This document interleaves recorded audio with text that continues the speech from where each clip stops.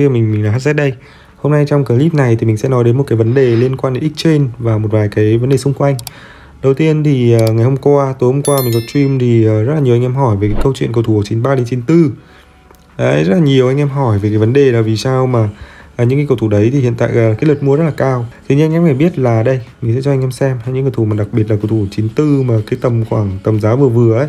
Ví dụ như là Di Maria này, Bellingham này, đấy rồi Steven Vieira các thứ. Nói chung là không hẳn là quá nhiều nhưng mà mình thấy là luôn luôn đỏ. Thì thực ra là cách đây khoảng à, mấy ngày thì à, uh, Sapris một cái người khá là tin cậy uh, giống như kiểu là Fabio Romero ở bên tin tức bóng đá ấy, nói chung là khá là tin cậy về các nguồn tin của FC Mobile thì có đưa ra cái thông tin liên quan đến exchange của thủ 96 đến 97 và trong cái, cái exchange của thủ 96 đến 97 này thì nó sẽ có những con hàng rất là chất lượng. Ví dụ như là uh, Cannavaro này Rodri các thứ thì còn, còn chất lượng.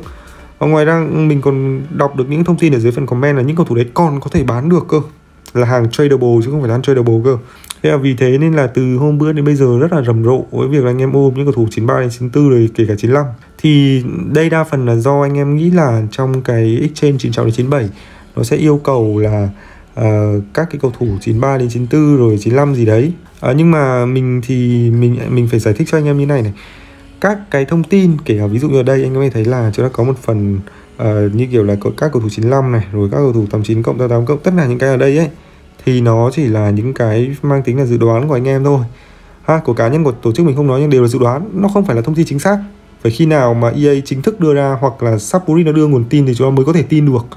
Ha chứ còn những cái hình ảnh về cầu thủ 93, 94, 95 hay gì đấy mà có thể exchange vào cái phần 96, 97 thì nó đều là dự đoán thôi và mình cái việc anh em ôm những cầu thủ 94 hoặc là mua những cầu thủ 94 này nhiều để để đầu tư để chờ tăng giá các thứ thì mình không nói đến. Đây là vấn đề đầu tư nhưng nếu anh em nghĩ là exchange 96 đến 97 là những cầu thủ over 94 95 bỏ vào thì nó chưa chắc nhá.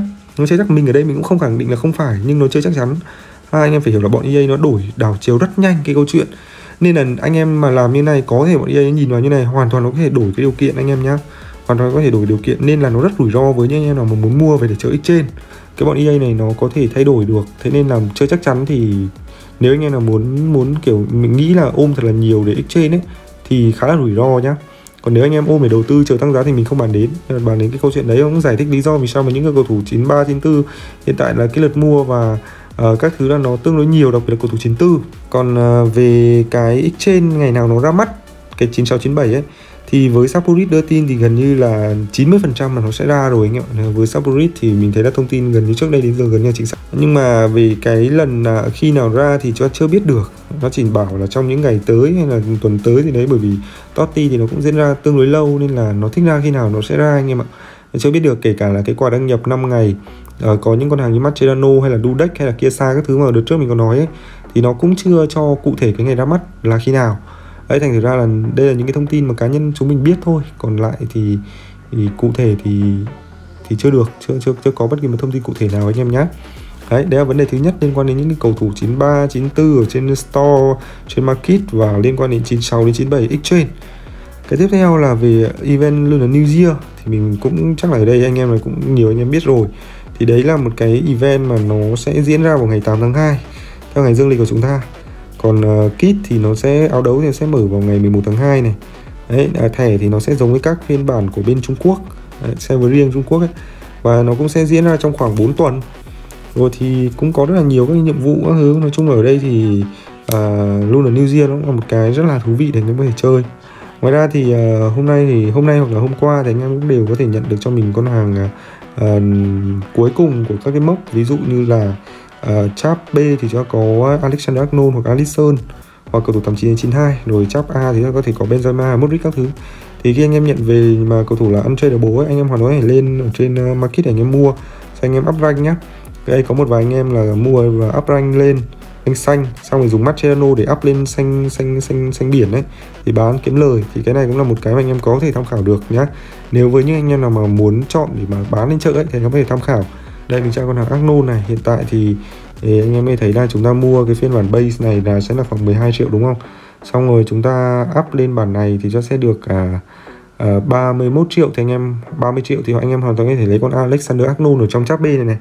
À, bởi vì hôm nay hoặc là hôm hôm hôm qua gì đấy tùy anh em. Thì nếu anh em chơi đầy đủ và không đi những nhánh lẻ thì chúng ta cũng đã có thể nhận được cái à, phần quà ở cái phần cuối cùng của từng chap rồi. Ví dụ như là Pat hiện tại của chúng ta nhé đấy, thì anh em hoàn toàn có thể nhận được ờ, cái mốc quà là con hàng ờ, đây đến cuối anh em có thể nhận được mốc quà là con ờ, trên Alexander Arnold hay là con Addison rồi.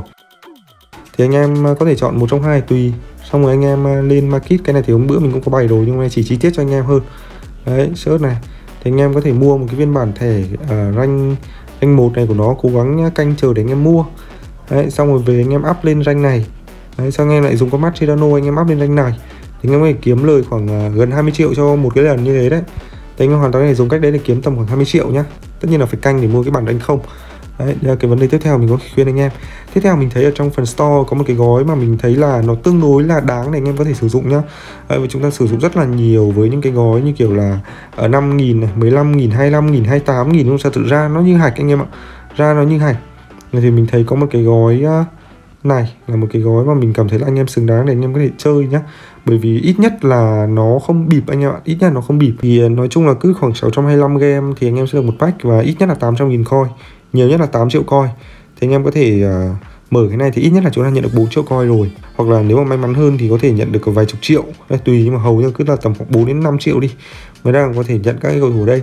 Thì chỉ với khoảng hơn 3.000 game chút thôi mà anh em nhận từng đấy thì mình thấy nó xứng đáng hơn so với việc là uh, bỏ mười mấy chục nghìn ra đây anh em ạ. Nói tôi mình nói thật với anh em là như thế. Ha nên là anh em mà chưa mở cái pack này ấy thì mình nghĩ là anh em mở đi. Trong phần Totti này nó có ấy của cái nick này của mình là mình tiêu rồi. Mình xài rồi nên nó không còn nữa. Còn của anh em mà vẫn sẽ còn đấy. Ha thì cái đấy là mình thấy là nó hợp lý hơn thì đấy là tổng quan ờ, các cái uh, thông tin mà ngày hôm nay mình có thể đưa đến cho anh em cập nhật cho anh em một chút để tránh cái trường hợp là uh, anh em uh, hoang mang về câu chuyện các cầu thủ này nọ rồi về exchange khi nào ra. Bởi vì trên mạng thật sự là rất nhiều những cái thông tin mà uh, nó đều là thông tin mang tính dự đoán thôi. Nhưng mà uh, người ta làm hình ảnh cũng rất là đẹp. Thế nên là nhiều anh em lại tưởng là là chính thức. Ha mấy đặc biệt là mấy anh em mà uh, hơi hơi gọi là uh, chưa tìm hiểu kỹ một chút thì tưởng là chính thức uh, rất nhiều anh em mình vừa livestream xong anh em vào hỏi để anh em bán cầu thủ các thứ. Là mình bảo rồi nó chưa có bất kỳ một thông tin chính thức nào cả. Đấy tất cả những cái đấy là dự đoán của anh em thôi. Còn ngày hôm nay thì uh, những thông tin mình chỉ mang đến đấy cho tất cả anh em thôi. Còn bây giờ thì uh, clip của mình đến đây cũng đã kết thúc rồi. Nếu anh em thấy clip hay thì đừng quên ấn like và đăng ký kênh của mình nhé bye bye anh em.